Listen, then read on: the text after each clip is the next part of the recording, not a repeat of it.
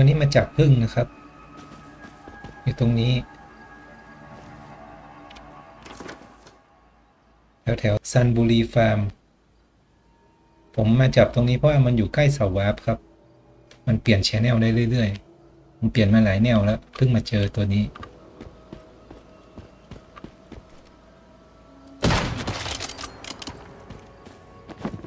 จับเลย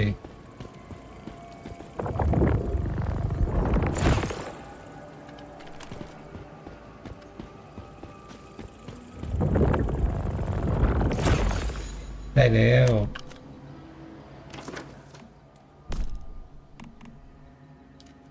ช่วยเพิ่มจำนวนของผักมั้ง